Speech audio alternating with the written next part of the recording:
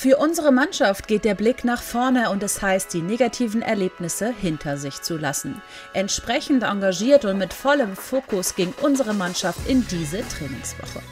Ja, also ich glaube, dass wir gerade in dieser Woche wieder extrem viel gearbeitet haben und dass alle wieder ähm, das, was ich auch sehen will, völlige Leidenschaft und äh, ja auch mit, mit, äh, mit allem zu verteidigen, was man hat, dass sie das auch in die Waagschale geworfen haben diese Woche.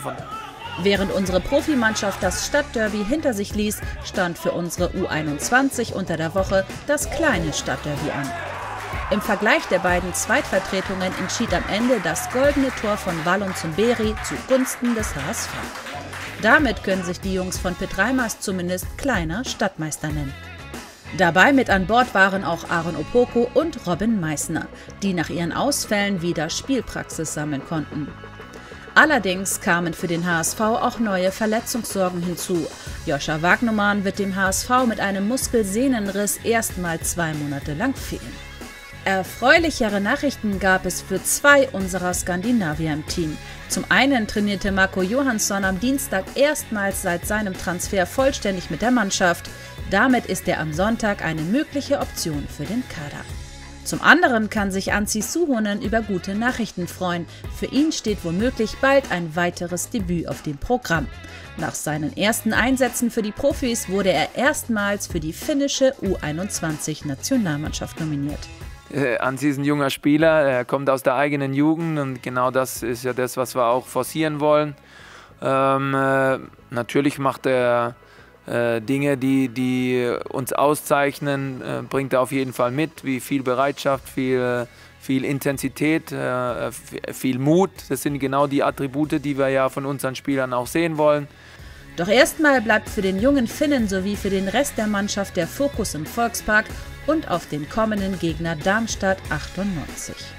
Ich denke, dass sie, dass sie viel Physis mitbringen, dass sie eine, eine, eine, Präsenz haben, gerade in der vorderen Linie und in der letzten Linie, äh, dass sie viel mit Wucht agieren werden. Aber äh, so wie es dann auch viele Mannschaften dann gegen uns versuchen, dass sie im Umschaltspiel natürlich äh, ihre Chancen sehen. Das, das wird es auch am Wochenende wieder sein. Die konnten nämlich am vergangenen Wochenende ein Ausrufezeichen setzen. 6 zu 1 besiegten die Lilien den FC Ingolstadt und holten damit ihren ersten Saisonsieg.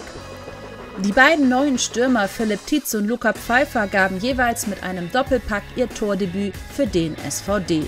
Gemeinsam sollen sie den Abgang von Serdar Dursun kompensieren, der vergangene Saison 27 Tore erzielte. Aufgrund von Corona-Fällen stark geschwächt, mussten sich die Darmstädter an den ersten beiden Spieltagen jeweils ohne ein eigenes Tor geschlagen geben.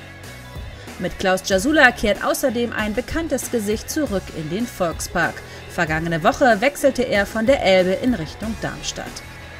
Auf der Trainerbank sitzt mit Thorsten Lieberknecht ebenfalls ein neuer Mann.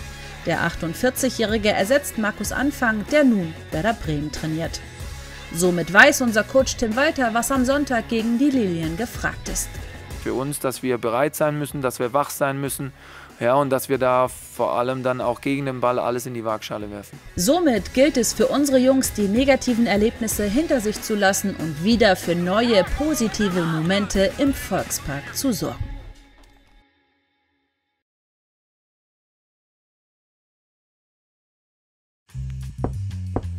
Moin HSV-Fans, jetzt hier unseren Kanal abonnieren oder hier ein weiteres Video anschauen.